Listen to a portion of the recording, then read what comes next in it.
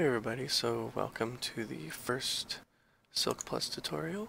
Um, first things first, you're going to want to get Intel Parallel Studio XE. Um, that will allow us to use the Cilk Plus compiler. Uh, so I'll be providing a link for this in the description. Also, you're going to want to keep the Cilk Plus website open because we're going to be looking at the tutorials here and the documentation for Cilk Plus uh, quite frequently. Um, so yeah, that's pretty much it. Once you have this guy installed, um, go ahead and open up Visual Studio.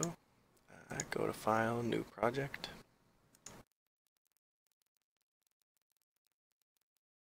And you're going to want to go to Visual C++, do a console application, call it Hello Cilk, or just give it whatever name you want.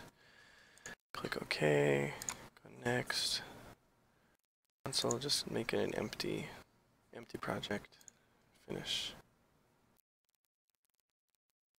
And uh, that's pretty much it. Uh, for source files, you're going to want to add source file, C++, and let's just call it hello cilk.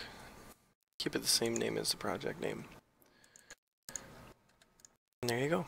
Um, and then the biggest, the important thing is you want to go to project. You want to make it use the Intel C++ compiler instead of the Visual C++ compiler. This will allow us to use our Cilk Plus keywords. And that's pretty much it.